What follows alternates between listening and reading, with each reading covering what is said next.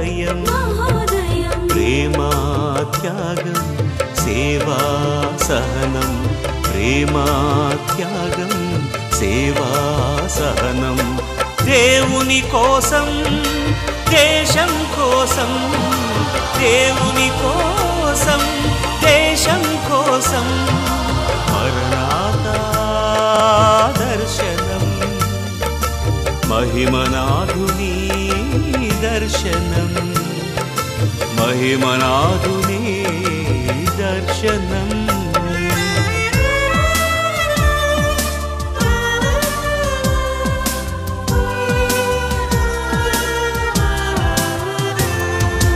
విశ్వమంతటిలో వినూత్నమైన విప్లవం ఆధ్యాత్మిక అందులలో నైతిక సంచలనం. విశ్వమంతటిలో వినూత్నమైన విప్లవం ఆధ్యాత్మిక అందులలో నైతిక సంచలనం మ్లానమైన ప్రతి హృదిలో జీవనది ప్రవాహం మ్లానమైన ప్రతి హృదిలో జీవనది ప్రవాహం పదము వీడిన పాంగులకు మార్గదర్శకం. పదము వీడిన పాంధులకు మార్గదర్శకం. మరణాథ మహిమనాథుని దర్శనం. మహిమనాథుని దర్శనం. ఏమన్నా మీరంతా బాగున్నట్లేనా? యోహాను సువార్తలోని పద్దెనిమిది పంతొమ్మిది అధ్యాయాల్లో నుంచి మనం కొద్ది సందేశాలు మనం ధ్యానం చేద్దాం. యోహాన్ సువార్త చివరి భాగంలోకి వచ్చాం మనం. ఇక్కడి నుంచి యేసుక్రీస్తు శిలువ మరణానికి ముందుగా జరిగిన సంభవాలను అందులో వాళ్ళ వాళ్ళ పాత్రలు పోషించిన వాళ్ళను గురించి మీతో పంచుకోవాలని. దానికి మూలవాక్యంగా యోహన్స్వార్త పద్దెనిమిదో అధ్యాయంలో నుంచి కొద్ది మాటలు పంతొమ్మిదో అధ్యాయంలో నుంచి కొద్ది మాటలు చదువుతాను. వారు కయప యుద్ధ నుండి అధికార మందిరమునకు యేసును తీసుకుని పోయి అప్పుడు ఉదయమాయన గనుక వారు మైలు పడకుండా పసుకాను భుజింపవల్లని అధికార మందిరంలోనికి వెళ్ళలేదు. కావున పిలాతు బయట ఉన్నవారి ఎదుకు వచ్చి ఈ మనుష్యుని మీద మీరు ఏ నేరము మోపుచున్నారని. అందుకు వారు వీడు దుర్మార్గుడు కాని ఎడ్ల వీనిని నీకు అప్పగించి ఉండమని అతనితో చెప్పిరి. పిలాతు మీరు అతన్ని తీసుకుని పోయి మీ ధర్మశాస్త్రము చొప్పున అతనికి తీర్పు తీర్చుడనగా యూదులు ఎవనికి నీ మరణశిక్ష విధించడానికి మాకు అధికారం లేదని అతనితో చెప్పిరి. అందువల్ల యేసు తాను ఎట్టి మరణము పొందబోవునో దానిని సూచించి చెప్పిన మాట నెరవేరు పిలాతు ఇదిగో మీ రాజు అని యూదులతో చెప్పగా అందుకు వారు ఇతనిని సంహరించుము సంహరించుము సిలువేయము అని కేకలు వేసిరి. పిలాతు మీ రాజును సిలువేయదునా? అని వారిని అడుగ్గా ప్రధాన యాజకులు కైసరు తప్ప మాకు వేరొక రాజు లేడన్రి. అప్పుడు సిలువ వేయబడుటకై పిలాతు ఆయనను వారికి అప్పగించను. ఈ భాగంలో యూదులు మనకు కనపడతారు. యూదుల మతం యూదా మతం ఆ యోధా మత నాయకులు ఆనాటి ఆ మత పెద్దలుగా మత వ్యవహారాల్లో నిష్ణాతులుగా రాజకీయాల్లో ఆరితేరిన వాళ్ళుగా ఉన్నటువంటి పరిసయులు సద్దుకైలు శాస్త్రులు అనే తెగల వాళ్ళు ప్రధాన యాజకుడు అంటే ప్రధాన అర్చకుడు నాయకత్వంలో యేసును పట్టుకున్నారు. ప్రధాన యాజకుని మందిరంలోనికి ఆఫీసులోనికి తీసుకువెళ్ళి అప్పటికే అన్యాయపు తీర్పు చెప్పి వీడు దేవదోషణ చేయగా మేము వింటున్నామని కోట సాక్షులను అబద్ధ సాక్షులను పోగు చేసుకుని యేసుక్రీస్తు మీద నేరారోపణ చేశారు. అయితే యూదులకి మరణశిక్ష విధించే అధికారం లేదు. ఎందుకంటే యోదయ దేశాన్ని అప్పట్లో రోమా సామ్రాజ్యాధీశులైన సీజర్ ప్రభువులు అదే కైసరు అంటాం కదా వాళ్ళు ఏలుబడి చేస్తూ ఉన్న కాలం. రోమీలు ఆ మరణశిక్ష విధించే అధికారాన్ని వాళ్ళ చేతుల్లోనే ఉంచుకున్నారు కానీ యూదులకు యోధమత నాయకులకు దాన్ని అప్పగించలేదు. ఆ కారణాన్న యోధమత నాయకులైనటువంటి వాళ్ళు పిలాతు దగ్గరికి తీసుకొచ్చారు. మతం అండి భలే విచిత్రమైంది. మత గ్రంథాల్లో ఉన్నటువంటి అద్భుతమైన నైతిక సూత్రాలు నీతి విలువల ప్రకారం కనుక ఏ మతమైనా నడుచుకున్నట్లయితే ఏ మతస్థులైనా నడుచుకుంటే అది ఎంతో దీవెన కలిగిస్తుంది. కాకపోతే దురదృష్టం ఏంటంటే ఏ చట్టమైనా ఏ మతమైనా ఏ మత గ్రంథాల్లో ఉన్న సూక్తులు సూత్రాలైనా అక్కడున్న అర్థాన్ని మార్చి ఆయా తరాల్లో వాళ్ళకు అనువైనటువంటి అనుగుణమైన రీతిగా మార్చి అర్థాలు చెప్పేటటువంటి మత ఛాందసవాదులు మత మౌఢ్యులు ఆయా తరాల్లో ఆయా కాలాల్లో అన్ని మతాల్లోనూ వస్తూ ఉన్నందున ఆ మత సూత్రాలు మత సూక్తులు అపార్థాలకు పెడార్థాలకు గురై బలై ప్రజలను బానిసలుగా చేస్తూ ఉన్నాయి. నిజానికి మత మౌఢ్యపు వ్యవస్థ మనుషులను ఆయా మత ఆచార వ్యవహార కర్మకాండాలుగా బానిసలుగా చేసి స్వేచ్ఛ లేకుండా చేశాయంటే ఆశ్చర్యమేమి లేదు అతిశయోక్తి కూడా లేదు అబ్బరమేం లేదని అంటాను నేను. మత నాయకులు ఏ మతస్థులైనా ఏ మత విశ్వాసాలు కలిగిన వాళ్ళైనా ప్రజలు ఏది సామాన్య ప్రజానీకం మత మౌఢ్యులుగా ఉండరు కదా ఎవరో కొద్దిమంది ఉంటారు. మత మౌఢ్యులైన నాయకులు ప్రజలను మతం పేరుతో ప్రాంతం పేరుతో తేలిగ్గా రెచ్చగొట్టవచ్చు. ఆ మాటకు వస్తే రాజకీయ నాయకులైనా ప్రజలను రెచ్చగొట్టవచ్చు. సామాజిక కార్యకర్తలైనా ప్రజలను మేల్కొల్పవచ్చు. ప్రజల్లో మేల్కొలుపు కలిగించగల గలరు కదా. మత నాయకులైనటువంటి వాళ్ళు వాళ్ళ మౌఢ్యపు ఛాందస భావాలకు అనుగుణంగా ప్రజలను రెచ్చగొట్టేటటువంటి కెపాసిటీ కలిగిన వాళ్ళు. దానికి కారణం ఏంటో చెప్పమంటారా? ఈ ప్రజలు కూడా అమాయకంగా ఈ మత మౌఢ్యపు మత ఛాందస వ్యవస్థకు బానిసలు అయినందున ఆ మత నాయకులు ఏం చెబితే ఆ గాడిని పడి పోయి కొట్టుకుని పోయే ఆ వరబడిలో పడి కొట్టుకుని పోయే దీనావస్థలో ఉండడం శోచనీయం లజ్జాకరం సిగ్గుదాయకం అవునా కాదా? అవి పేపర్ వార్తలు కానీ మత సూత్రాలు సూక్తులు కానీ మనము విశ్లేషిస్తే దేవుడు మనకిచ్చిన జ్ఞానాన్ని బట్టి మనం కాస్త మెళకువ కలిగి మేల్కొని ఆ మత గ్రంథాల ఘోష ప్రకారం నడుచుకోవడానికి దేవుడు ఎంతో అద్భుతమైన సహాయం చేస్తాడు. మరణశిక్ష విధించే అధికారం లేనందున వాళ్ళు పిలాతు దగ్గరికి తీసుకెళ్ళాడు. పిలాతు అంటే ఆనాటి రోమన్ కైసరు చక్రవర్తి నియామకం చేసినటువంటి యోదయ దేశం మీద పరిపాలిస్తున్న గవర్నర్ అనమాట ఏలిక. విచిత్రం ఏంటంటే మరణశిక్ష విధించే అధికారం లేదని చెప్పి ఈ యోధా నాయకులే భక్తుడైన స్తెపన దగ్గరికి అదే యేసుక్రీస్తు భక్తుడైన స్తెపన దగ్గరికి వచ్చినప్పుడు వాళ్ళు చట్టాన్ని మరణశిక్ష విధించే అధికారం లేకపోయినప్పటికీ చట్ట ప్రకారం మరణశిక్ష విధించే అధికారం లేకపోయినప్పటికీ చట్టాన్ని వాళ్ళ చేతుల్లోకి తీసుకుని రాళ్ళతో కొట్టి చంపేశారు స్తెపనను అయినా వాళ్ళు తప్పించుకోగలిగారు. చాలా ఆశ్చర్యం కదా? ఇంతకీ యేసును మాత్రం రాళ్ళతో కొట్టి చంపకుండా యుధమత ఛందస్వాదులైన ఆనాటి నాయకులు రోమా గవర్నర్ అయినటువంటి పిలాత దగ్గరికి తీసుకొచ్చారు. వాళ్ళ చేతుల్లో ఉందన్నమాట సిలువ వేసి శిక్షను విధించే పద్ధతి. ఆ శిక్షణ విధానం.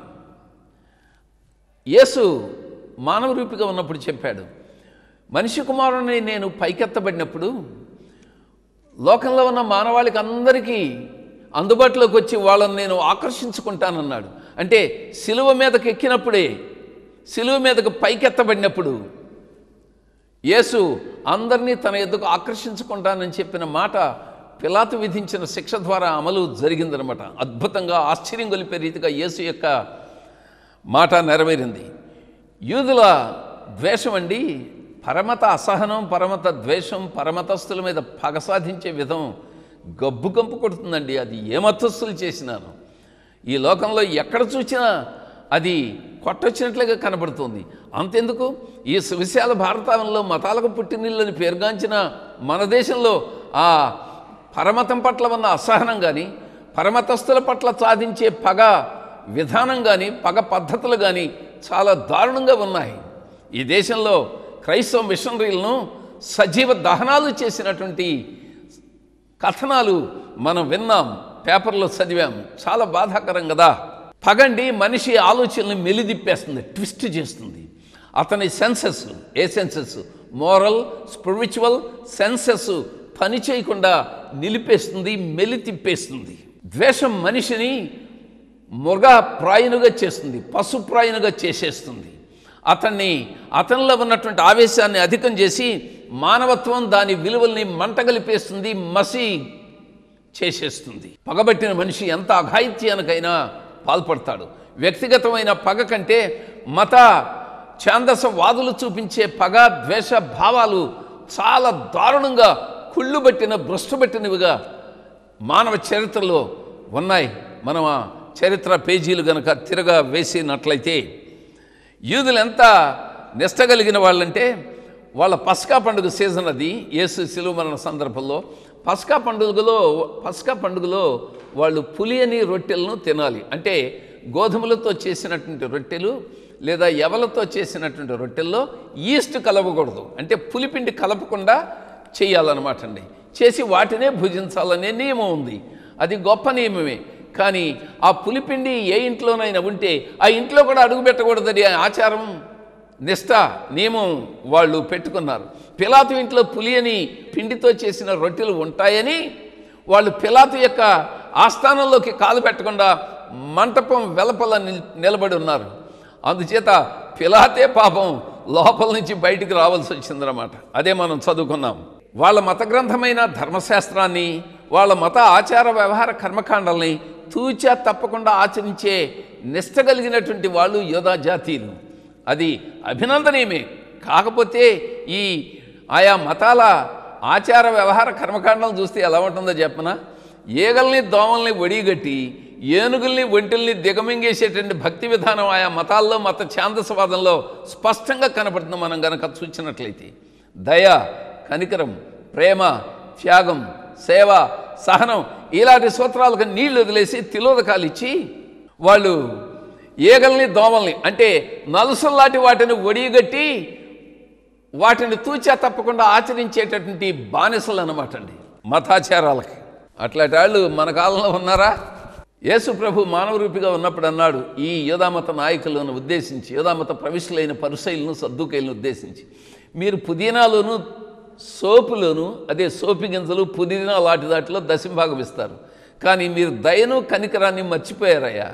అంటే దేవుని సన్నిధికి ద్రవ రూపంలో అర్పణలు తీసుకెళ్తారు పువ్వుల రూపంలో అర్పణలు తీసుకెళ్తారు మరి బట్టల రూపంలో అర్పణలు తీసుకెళ్తారు ఆభరణాల రూపంలో అర్పణలు తీసుకెళ్తారు బంగారం వెండి విలువైన లోహాల రూపంలో అర్పణలు తీసుకెళ్తారు సౌండ్ రూపంలో అర్పణలు అర్పిస్తారు దేవుళ్ళు గుళ్ళల్లోకి చర్చిల్లోకి మందిరాల్లోకి గట్రా వెళ్ళి. అది అదంతా బాగానే చేస్తారు. తడి మడి అంటారు కానీ అసలుందే దయ కనికరం ప్రేమ త్యాగం సేవ భావం సహన భావం ఈ క్వాలిటీస్ని విడిచిపెట్టేశారయ్యా. వాటిని మానకుండా వీటిని చేయవలసి ఉండే కదా అని యేసు అంటాడు. అని అప్పుడు అంటాడు మీరు నలుసులాంటి వాటిని వడియగట్టి ఒంటిల్ని దిగమింగే భక్తులయ్యా మీరు అన్నాడు. ఈ భక్తి విధానం ఏ మతంలో ఉన్నా దాన్ని నిజంగా గర్హించవలసిందే ఖండించవలసిందే అని అంటాను నేను. నాకు ఆశ్చర్యం వేస్తుంది. మేముంటున్నటువంటి ఇంటి ప్రాంతంలో ఏవో టెంపుల్స్ ఉన్నట్లు ఉన్నాయి. సరే ఈ దేశంలో టెంపుల్స్ చర్చీలు లేకపోతే ఈ క్రిస్టియన్ టెంపుల్స్ ఆయా మతాల టెంపుల్స్ వాళ్ళ పవిత్ర స్థలాలు ఉన్నాయనేది మనం ఎరిగిన సంగతే కదా. అయితే ఆయా గుళ్ళు గోపురాల మీద నుంచి చెవులు చిల్లులు పడేలాగా మైక్ సౌండ్ పెట్టి తెల్లవారుజాము నుంచి అర్ధరాత్రి కాడ వేధిస్తున్నా ఎవరు పట్టించుకోరు? అదే ఒక క్రైస్తవ కోటాన్ని ఒక ఇంట్లో చిన్న స్పీకర్ బాక్స్ పెట్టుకుని జరిపించుకుంటుంటే సౌండ్ ఎక్కువగా ఉందని చెప్పిన కబుర్లు చేస్తారు ఇరుగు పొరుగు వాళ్ళు. పోలీసులు కంప్లైంట్ చేస్తారు. వాళ్ళు వచ్చి చట్ట ప్రకారం మీరు చేయకూడదు కాబట్టి అని ఈ యాంప్లిఫైర్లు తీసుకుపోయిన సందర్భాలు నేనే ఎరుగుతును ఇది చాలా శోచనీయం చాలా బాధాకరం కదా. అంటే ఒక మతస్థులనే ఒక రీతిగా మరొక మతస్థులనే మరొక రీతిగా ట్రీట్ చేసే ఈ విధానం దోషపూరితం కదా. ఇది అన్యాయం కదా. ఆ మాటకు వస్తే మతం పేరుతో రాజకీయాల పేరుతో ఆ మాటకు వస్తే ఈ రెండింటి పేరుతో అన్యాయం వీధుల్లో బజార్లో విలయ తాండవం చేస్తుంటే న్యాయం ఒదిగి ఒదిగి ఒక మూలన నక్కి దాక్కుని కూర్చోవలసి వస్తుంది. అది బాధాకరమైన సంగతి కదా. యూదులు చేసిన మరొక దారుణమైన పని ఏంటంటే వాళ్ళ మత ఆచార వ్యవహార కర్మకాండల్ని యేసు ఖరాఖండిగా ఖండిస్తూ వచ్చాడు. అది వాళ్ళకి గిట్టలేదు. వాళ్ళకి నీతి బోధలు చెప్తే ఆ నీతి బోధలు వాళ్ళకి నచ్చలా వాళ్ళకి స్వచ్ఛలా వాళ్ళకి రుచించలేదు. వాళ్ళ ఆచారాలని అర్ధరహితమైన ఆచార వ్యవహార కర్మకాండలు ఖండిస్తుంటే అది వాళ్ళకి గిట్లా. అందుకనే మత విద్వేషాన్ని ప్రజల్లో రెచ్చగొట్టి యేసు మీదకి విసికొల్పారు ఆ ప్రజలందరూ కూడా యేసు ప్రబోధనాలు విన్నవాళ్ళు ఆ బోధలు విని ఆశ్చర్యచకితులయ్యారు. అరే మన మత నాయకుల కంటే ఈ కొత్తగా వచ్చినటువంటి ఈ బోధకుడు గొప్ప బోధలు చెప్తున్నాడే అధికారం గలవాని వల్ల మాట్లాడుతున్నాడే దయగల ఆయన చెప్పిన దయగల బోధలు వింటుంటే మనసు కదిలించబడుతోంది. అరే పేదలతో పామరులతో పాపులతో నేస్తం చేస్తూ వాళ్ళ మధ్యలో సామాన్యుడిగా సంచారం చేసే ఈయనతో పోలిస్తే మన మతనాయకులు కొత్త గబ్బు కప్పు కొట్టే ఆచార వ్యవహారాల్లో బానిసలుగా చేశారే మనల్ని అని వాళ్ళు చెప్పుకున్నారు. అట్లాంటి ప్రజలను మతం పేరుతో విద్వేషాన్ని రెచ్చగొట్టి పిలాతు దగ్గరికి సాక్షులుగా తీసుకొచ్చారు. ప్రధాన యాజకుడైన కైప ఇంటిలోకి వెళ్ళినప్పుడు ఆయన ఆఫీసులోకి యేసును ఈడ్చుకుని వెళ్ళినప్పుడు ఆయన మీద మోపిన నేరారోపణ ఏమిటంటే నువ్వు దేవదోషణ చేశావు. అంటే తాను స్వస్థపరిచిన పక్షవాతపు రోగిని చూచి కుమారుడా నీ పాపములు క్షమించబడి ఉన్నాయి అన్నాడు. పాపాలు క్షమించే అధికారం దేవుడికే కానీ ఏంటి? నరమాత్రుడుగా మానవ రూపంలో ఉన్నటువంటి ఇతగాడెవరు? పాపాలు క్షమించడానికి? అలా చెప్పి దేవుణ్ణి దూషిస్తున్నాడు అని చెప్పని వాళ్ళు అర్ధరహితమైనటువంటి విమర్శలు చేసి అబద్ధ సాక్షులను పోగు చేసుకుని యేసు మీద నేరారోపణ చేశారు.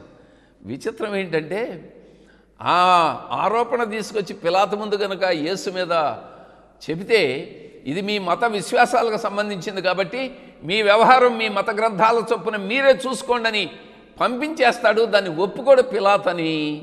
వాళ్ళు ఏం చేశారంటే వీడు రాజునని చెప్పుకుంటున్నాడండి. మాకు కైసర్ తప్ప వేరొక రాజు లేడు కదండి. ఏమండి?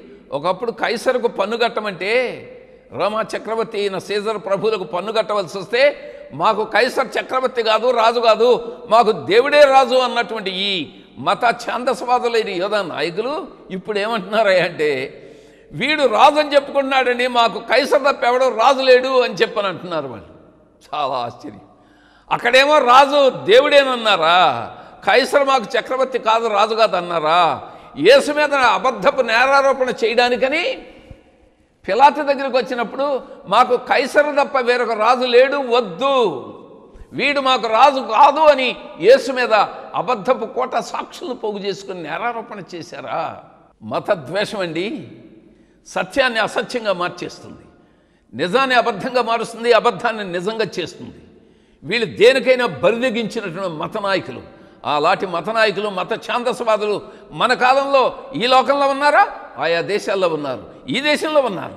వాళ్ళు పెద్ద మనుషులుగా నాయకులుగా చలామణి అవ్వడాన్ని మనం ఫ్రీగా వాళ్ళు తిరగడాన్ని కలార చూస్తూ ఉన్నాం. ఏ మతస్థులైనా కడకు క్రైస్తవులైనా పరమతస్తుల్ని విమర్శించడం అనేది తప్పు. ఆ మాటకొస్తే బైబిల్లో ఉన్న ఉపదేశాలు చెప్పుకోవడం వరకు ఆక్షేపం లేదు.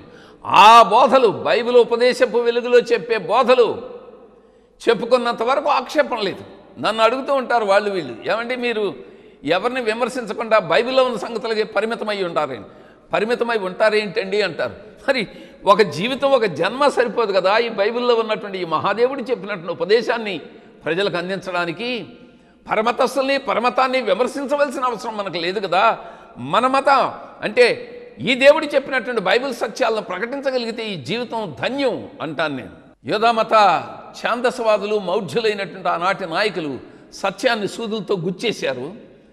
నిజాన్ని సత్యమైనటువంటి క్రీస్తును మేకులతో సిలువుగా కొట్టింపచేశారు. ఈ కాలంలో ఏమైనా ఇట్లాంటి తంతులు జరుగుతున్నాయా? నాకు సంభవం గుర్తుకొస్తుంది. చాలా సంవత్సరాల క్రితం జరిగింది. అది పశ్చిమ గోదావరి జిల్లాలో జరిగిన సంభవం. నేను ఆ గ్రామానికి వెళ్ళాను. అక్కడున్న పాస్టర్ గారు అక్కడ ఉన్నటువంటి క్రైస్తవేతర కుటుంబాల మధ్య అక్కడ విశ్వాసులు ఉన్నందరూ కూటం పెట్టారు. నేను వీధిలో నిలబడి మాట్లాడుతున్నాను. అందులో ఒక ఆయన వచ్చి మీద మీదకి వచ్చి నన్ను కొట్టబోయాడు. అప్పుడు విశ్వాసులందరూ కూడా నా చుట్టూ నిలబడ్డారు. అమ్మో వాడు దుర్మార్గుడండి. ఇట్లాగే వాళ్ళని వీళ్ళని కొట్టి ఎమ్మెల్యే గారితో చెప్పి కేసులు మాఫీ చేయించుకుంటాడండి అన్నారు. ఈ లోపుగా ఆ పచ్చి బూతులు తిడుతూ దేవుడిని నన్ను కలిపి తిడుతూ చాలా యాగి చేస్తూ ఉండగా ఆ ఇంటి పక్క ఆయన ఒక ఆయన లేచాడు వాళ్ళ బంధువే. ఆయనేం విశ్వాసి కూడా కాదు క్రైస్తవ విశ్వాసి కాదు. లేచి రే ఏంట్రా వాగుతున్నావు? పెద్ద మనిషి ఏదో వాళ్ళ దేవుని గురించి చెప్పుకుంటే ఎందుకు అలాంటి నేరారోపణలు చేసి నిందలు వేసి ఎందుకు అలా బూతులు తిడతావు?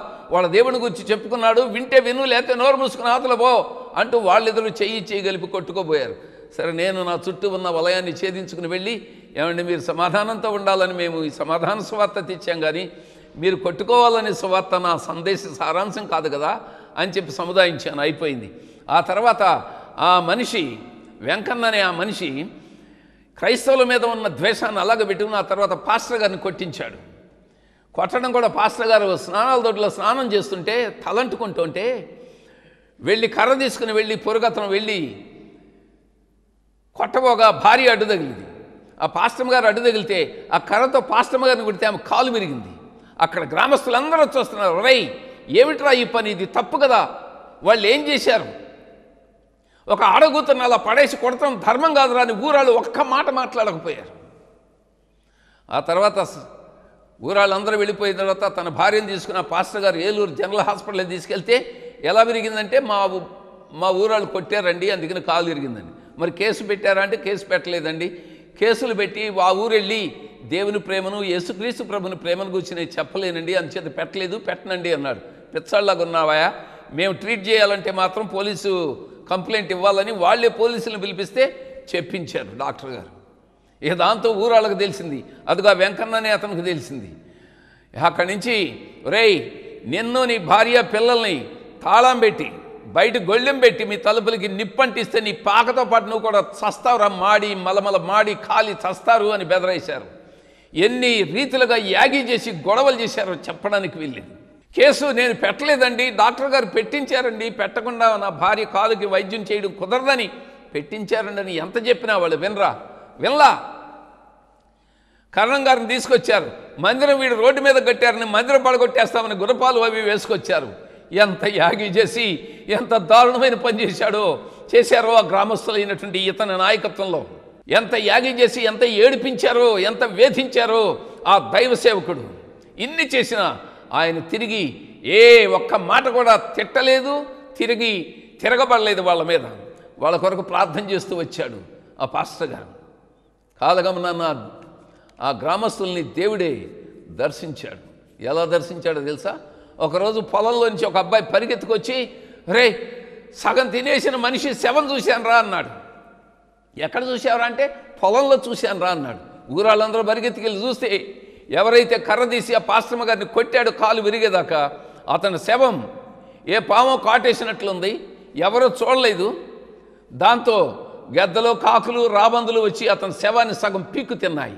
దాంతో ఆ మనిషి చూసి భయకంపితుడై వచ్చి గ్రామస్తులు చెప్తే పరిగెత్తికెళ్ళి చూచారు. ఆ శవం పాస్టమ్మ గారు కొట్టిన అతనిని చూచారు. అప్పుడు ఆ వెంకన్న దగ్గరికి వెళ్ళి అసలు నువ్వు చేసావురా ఇది? ఆ మొదటి చౌదరని ఆయన వస్తే ఆయన కొట్టాలని చూశావు. ఆ తర్వాత పాస్టర్ గారిని కొట్టి ఆయన ఊళ్ళోంచి పంపించేయాలని చూశావు. ఇన్ని దుర్మార్గ పనులు చేసినందున ఈ గ్రామానికి కీడు పట్టిందిరా అని వాళ్ళు తిరగబడ్డారు. నేను మనవి చేస్తూ ఉన్నాను. సూర్యుని అరచేత్తో ఎలా ఆపు చేయలేమో? సూర్యకాంతిని ఎలా ఆపు చేయలేమో? సత్యాన్ని కూడా అలాగా ఆపు చేయలేమండి. ఆనాటి యోధామత నాయకులైనటువంటి యోధామత ఛాందసవాదులు యేసును సిలువకు అప్పగించారే కానీ యేసు సువార్తను ఆపు చేయలేకపోయారు ఆయన శిలువ మరణం ద్వారా ప్రపంచమంతా వ్యాప్తి చెందుతూ ఉన్నటువంటి ఈ మహాదేవుని యొక్క దివ్యమైన త్యాగపూరితమైన ప్రేమ సువార్త అనేక జీవితాలు కొటాను కోట్ల జీవితాలను వందల వేల కోట్ల జీవితాలను మార్పు చేస్తుంది. నన్ను మార్చింది. మిమ్మల్ని మార్చగలదు. నమ్మినట్లయితే మిమ్మల్ని మార్చగలదు. శిలువ మరణానికి బలి అయి మీరు నేను పొందవలసిన పాపశిక్షను సెలవులో పొందిన సహించిన వహించిన భరించిన సంతోషంతో భరించిన యేసును మీరు కూడా నమ్ముకున్నట్లయితే పాప క్షమాపణ పరలోక ప్రాప్తం సంప్రాప్తం అవుతుందని మనవి చేస్తూ నా మాటలు ముగిస్తున్నాను. దేవుడు మిమ్మల్ని దీవించునుగాక. ఈ కార్యక్రమం ద్వారా మీరు పొందిన దీవెన మరియు మీ ప్రార్థన అవసరతలు పంపవలసిన మా చిరునామా మరణాత విశ్వాస సమాజము గాయత్రి నగర్ విజయవాడ ఎయిట్. మా phone numbers zero eight six six two four nine three six double one మరియు zero four zero two double zero double zero four six four.